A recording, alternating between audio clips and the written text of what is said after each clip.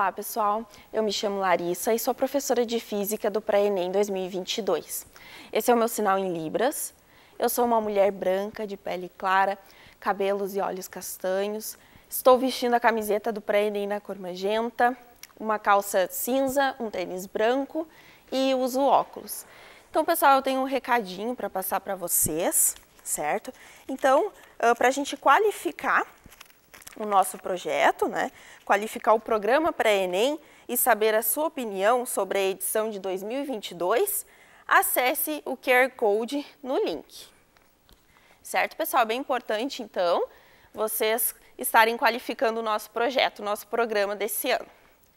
Então, pessoal, a gente está chegando na nossa última aula de física do projeto, né? Nossa última aula que vai ser somente eu gravando, né? Depois a gente tem uma uma outra aula com participação, certo? Mas essa é a última aula de física que a gente vai ter, certo?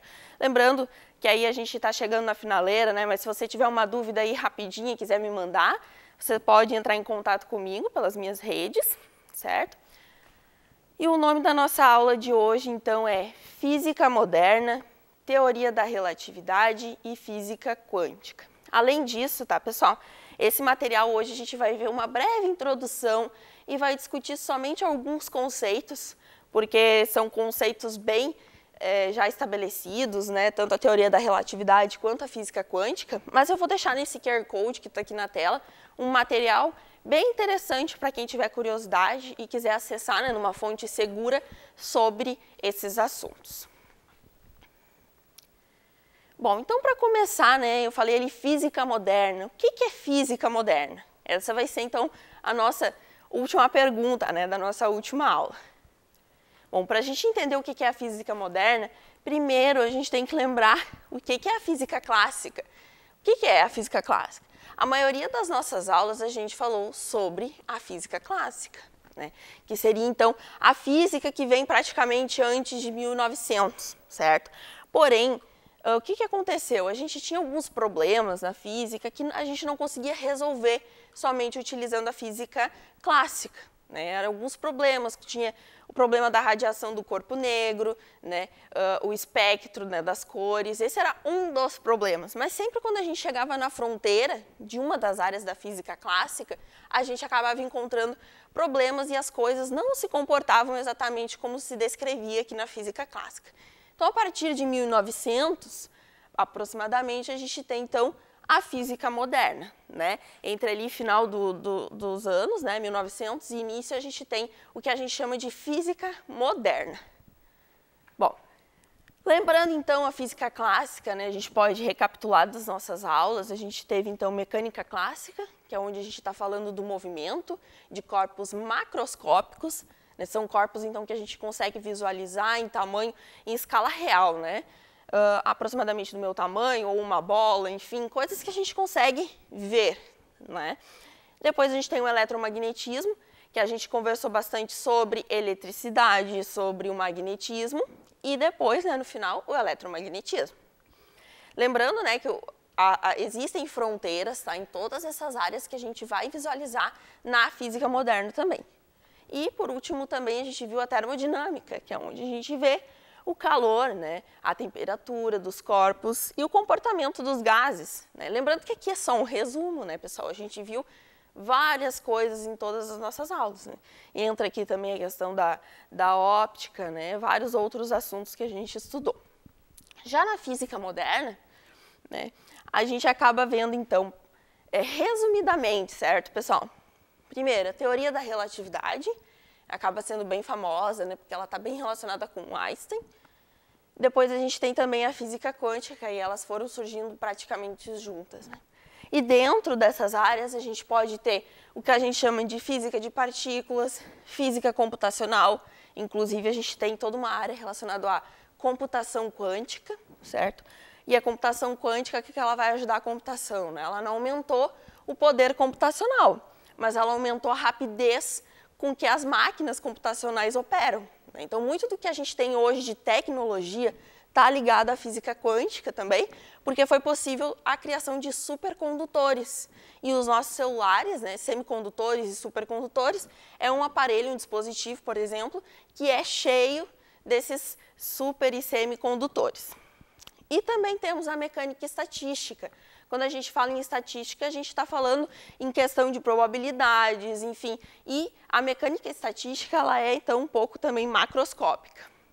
Isso aqui é só um resumo, né?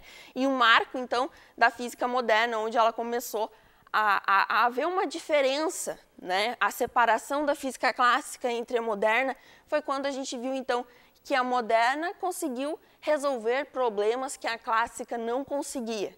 Mas existem várias diferenças, né? Aqui falando então em física quântica, às vezes a gente escuta falar em mecânica quântica, né? Essa vai ser a diferença que a gente vai discutir agora. Bom, nesse período, né, a gente tem então alguns físicos que a gente pode chamar eles de físicos modernos. Mas, claro, né, eles já vinham desenvolvendo essas pesquisas baseadas, então, na, na física clássica. É claro que essa separação ela veio depois de um certo período. Então, o primeiro deles é o Max Planck, sendo um dos mais importantes né, para essa separação da, da, física moderna, onde a gente tem a criação da constante de, de Planck, a quantização da energia, a Marie Curie, né, a, a mulher aqui que a gente tem entre esses tantos homens que a gente está vendo, o Niels Bohr, Erwin Schrödinger, a gente já falou sobre ele em uma aula, rapidamente, né, hoje a gente vai falar um pouquinho melhor. O Einstein, Albert Einstein, que é o mais famoso, né, se a gente for parar para pensar, de, desses rostos aqui.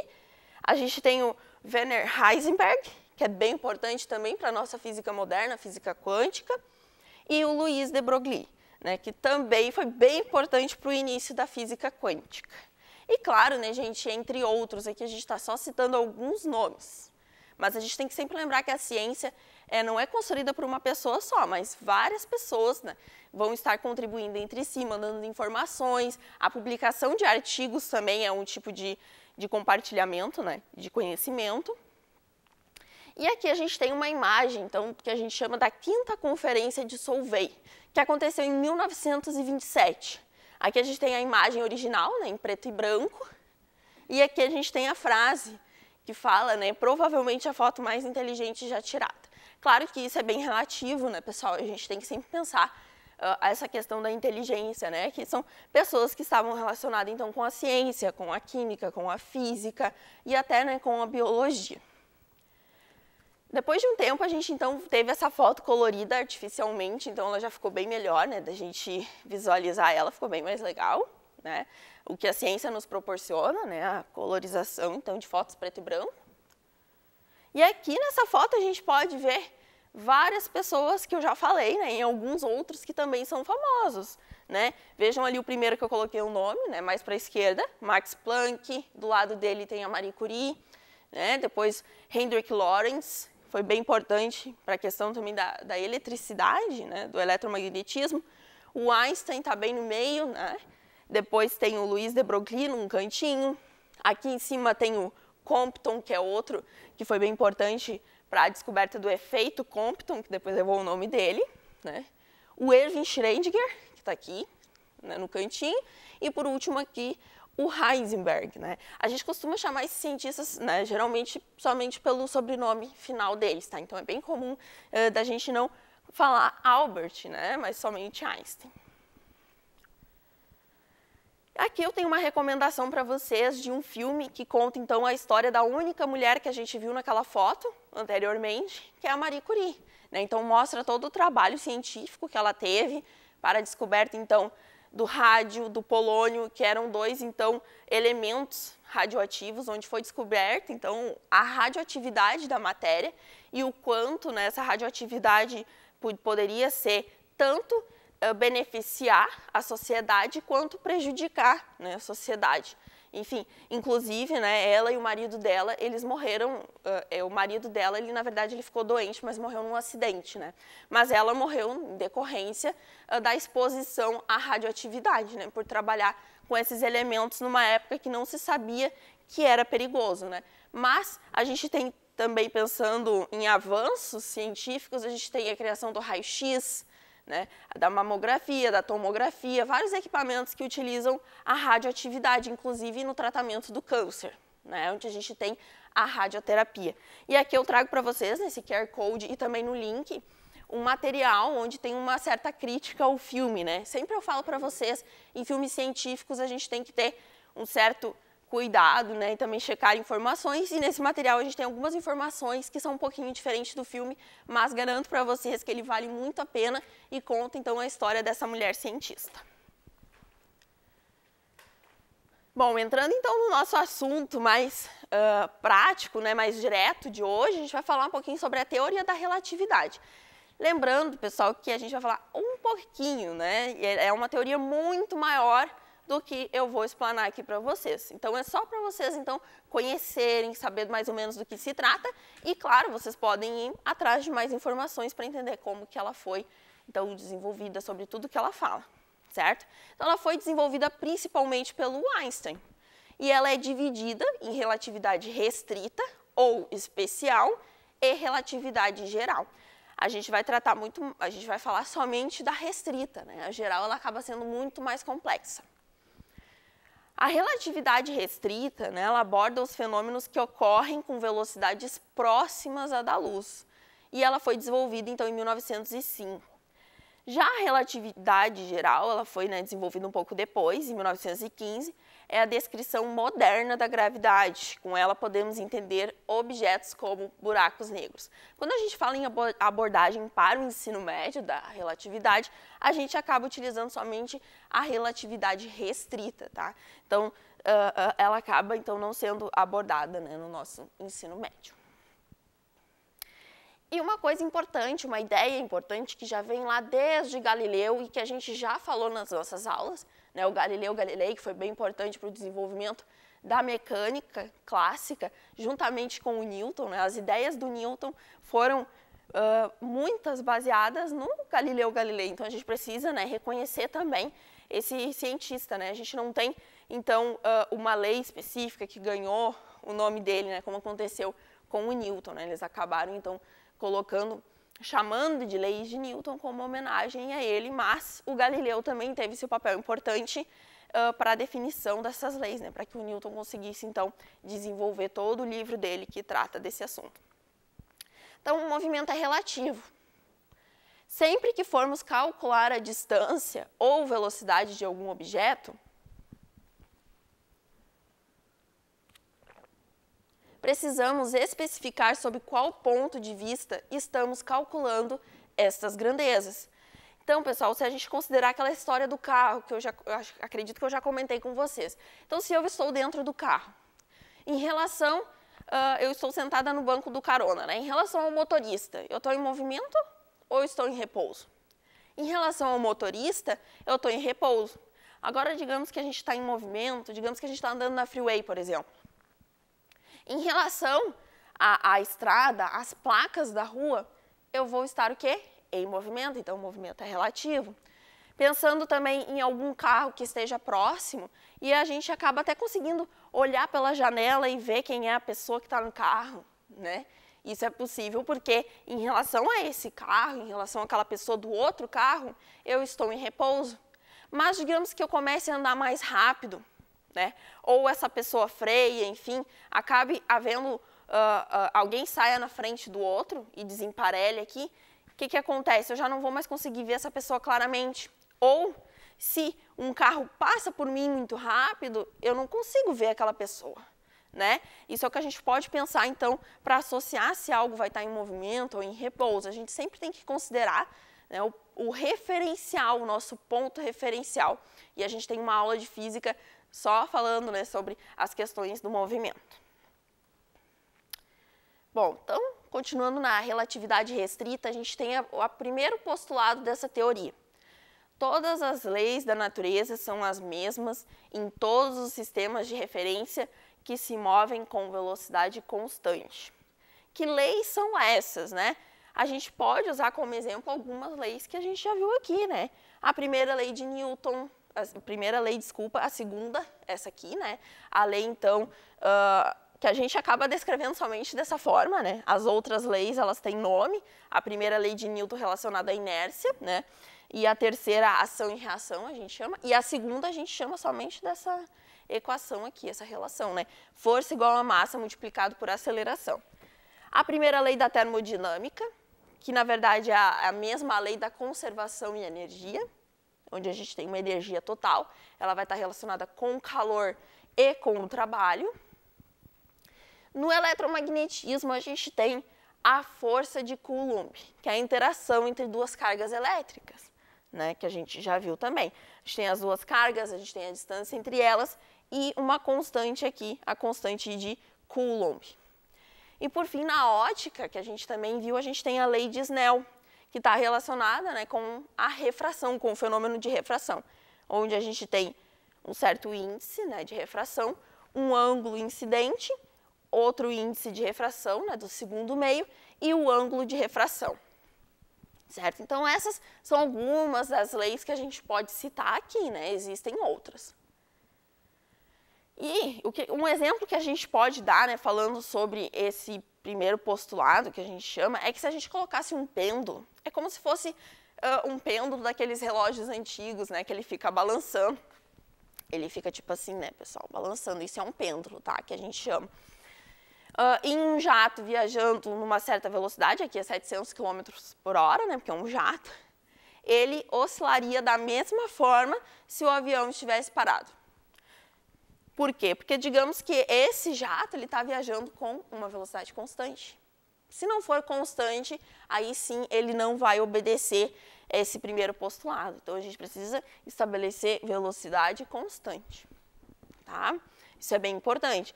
E se o avião estivesse acelerando, né, é, ele ia oscilar de forma diferente no avião e estando em repouso, né, no jato, desculpa. Agora, o segundo postulado, né, são dois. A velocidade de propagação da luz no vácuo tem o mesmo valor para todos os observadores, não importando o movimento da fonte ou do observador. Ou seja, a velocidade da luz c é constante. Claro que devemos levar em consideração algo que a gente já falou, né, que depende do meio de propagação, então essa velocidade, é, aquele valor que a gente conhece, ele é um valor do vácuo, né, mas quando a gente entra na atmosfera, esse valor ele acaba caindo um pouco e depende do meio, então, que, se, que a luz está transitando, mas dentro desse meio ela vai ser considerada constante, então ela não é uma velocidade que varia, ela vai ser sempre a mesma. Então, se a gente, eh, por exemplo, né, em teoria da relatividade, a gente usa muito exemplos usando foguetes, aviões, tá? É bem comum, pessoal, vocês verem exemplos nesse sentido, né?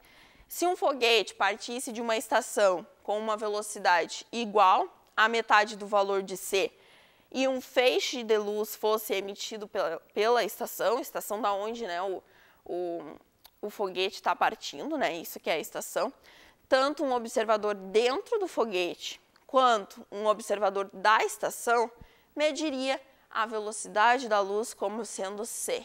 Então, a velocidade né, ela vai permanecer a mesma, independente então se esse objeto ele vai estar em movimento ou não, certo? É mais para a gente dizer, então, estabelecer de uma forma mais uh, fixa que a velocidade da luz é constante, certo? Continuando então, né, o Einstein não somente conectou os conceitos de espaço e tempo, isso é bem importante, tá, pessoal? Mas, devido à nossa aula, né, ser um, uma aula mais introdutória, enfim, a gente não vai falar tanto sobre isso. Mas um exemplo prático sobre a aplicação de espaço e tempo é o uso, então, de GPS. Né? O nosso GPS, hoje em dia, ele só é possível, então, por causa da relação entre espaço e tempo a partir da teoria da relatividade mas também os conceitos de massa e energia, e é isso que a gente vai falar agora rapidinho, né? Segundo a teoria da relatividade, a matéria pode ser transformada em energia. Qualquer corpo, mesmo estando em repouso, possui uma quantidade de energia, chamada de energia de repouso, devido à massa né, desse corpo. E essa energia é dada pela famosa equação que a gente já vê em vários lugares, né? quando a gente vê alguma imagem de física, a gente acaba vendo essa relação aqui, que é energia igual a massa multiplicado pela velocidade da luz ao quadrado. Tá? É bem famosa essa relação aqui. E como o valor da velocidade é muito grande, a velocidade da luz então é a velocidade maior que a gente tem, né? E ainda está elevada ao quadrado. nessa equação. Então, veja, é um valor muito maior. Uma pequena quantidade de matéria pode gerar uma grande quantidade de energia. E o que, que isso afeta nas nossas vidas, certo? Então, é por meio da teoria da relatividade e também dessa relação da energia igual a mc ao quadrado, que é possível, então, desenvolver as bombas atômicas, né? onde a gente tem, eh, se a gente for pensar, ou a gente olha o formato né, de uma bomba, a gente vê ela parece tão pequena, tão compacta, enfim, mas e a gente vê o, o estrago que ela faz, né, a nuvem que ela levanta, aquilo ali é a energia que ela está liberando. Então, apesar dela ter uma massa, às vezes não ser tão grande, né, por causa da velocidade da luz, por causa dessa relação aqui, a gente vai ter um efeito mais devastador. Né? E claro, tá, gente, esse é um, um exemplo negativo que eu trouxe, né? mas a gente também tem os exemplos positivos que são usados na nossa tecnologia de hoje em dia. Se a gente for parar para pensar, a tecnologia, né, de uma forma geral, a nossa vida, a nossa saúde, tudo melhorou praticamente, aproximadamente, né, depois de 1900, 1950, 60, as coisas foram melhorando por causa dessas tecnologias, tanto da teoria da relatividade quanto a física quântica. Então, toda por isso que a gente chama de física moderna, né? Foi ela então que nos permitiu a gente estar aqui hoje tendo todas as modernidades disponíveis, né? E cada vez desenvolvendo mais, né? Os estudos não pararam. É a física que ainda está em andamento. Né? Claro que a gente ainda pode dar continuidade aos estudos da física clássica, mas a física quântica, a teoria da relatividade, enfim, esses conceitos mais modernos que vêm dessas teorias, é o que a gente mais estuda hoje nos cursos de física. Né, de física bacharelado, física teórica, experimental, certo? Bom, e agora a física quântica, rapidinho, para a gente também conversar um pouquinho sobre ela, né? Primeiro a gente tem que saber o que, que não é física quântica. Por quê? porque a gente vê muitas coisas na internet relacionadas à física quântica, enfim, em vários lugares, né? falando em terapia quântica, por exemplo, é, vários tratamentos, né? a medicina quântica, por exemplo, são então, elas são chamadas de pseudociência, né? são ideias, então, é, teorias, enfim, é, procedimentos que usam termos científicos, como o termo da física quântica, porém não existe comprovação científica sobre estas práticas. Tá? Então a gente precisa saber diferenciar quando a gente recebe uma informação falando sobre física quântica, né? terapia quântica, enfim, saber se aquilo realmente está falando sobre a física quântica, a física que foi desenvolvida, a física da tecnologia que a gente tem hoje em dia, que é estudada né, nas universidades, em cursos de física, né? Então, o que é física quântica? Né? A gente falou o que, que não é. O que, que é a física quântica? A física quântica, geralmente, a gente está falando sobre a mecânica. Tá? Geralmente sobre a mecânica. É uma teoria física que descreve o mundo microscópico. Então, aqui que está uma das diferenças né, em relação à física clássica. A gente trabalhava maioritariamente com o mundo macroscópico, onde a gente conseguia ver as coisas. Aqui a gente já não consegue, a gente está falando em escala atômica e subatômica, menores que o átomo. Né? Então, é a física dos componentes da matéria, átomos, moléculas e núcleos. Podem ser observadas nessas partículas características ondulatórias e ou corpusculares, além de não ser possível atribuir algumas propriedades dinâmicas ao mesmo tempo, né? propriedades do movimento, é isso que quer dizer dinâmico, como a posição, a velocidade e o momento linear. Né? O momento linear é a relação entre a massa e a velocidade de um corpo, de modo simultâneo. Isso aqui está relacionado né, com o princípio da incerteza que foi proposto por Heisenberg, que a gente já falou antes sobre ele. Né?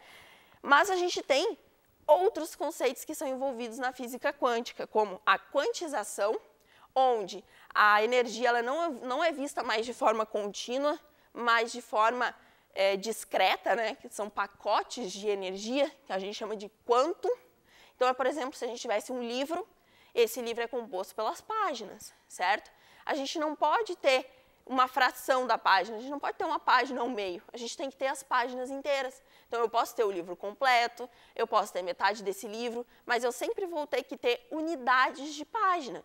Já quando é contínuo, a gente pode trabalhar com fração, com vírgulas, né? Mas no caso da física quântica, a gente tem a quantização. Objetos quânticos, que são objetos que não podem ser tratados pela física clássica. Dualidade onda-partícula, que já falamos sobre a luz, né? Que ela tem essa característica. Aqui a gente também tem essa característica, que ora o corpo vai se comportar como onda e ora como partícula, mas isso não é aleatório, depende da experiência que a gente está fazendo e como estamos medindo. A função de onda, que é praticamente vinda então do Schrödinger, que é bem importante nesse movimento, e a superposição de estados, que vai estar relacionado com aquela história que talvez vocês já ouviram do gato vivo e do gato morto, que a gente chama do gato de Schrödinger. Na verdade, é uma analogia, tá, pessoal? Então, não se achem que a gente está falando exatamente de gatos vivos ou gatos mortos. É uma analogia para que fique um pouco mais fácil de entender. Então, a gente só vai saber né, se o gato está vivo ou está morto quando a gente abre a caixa. E isso é uma das coisas importantes da física quântica, que é a probabilidade.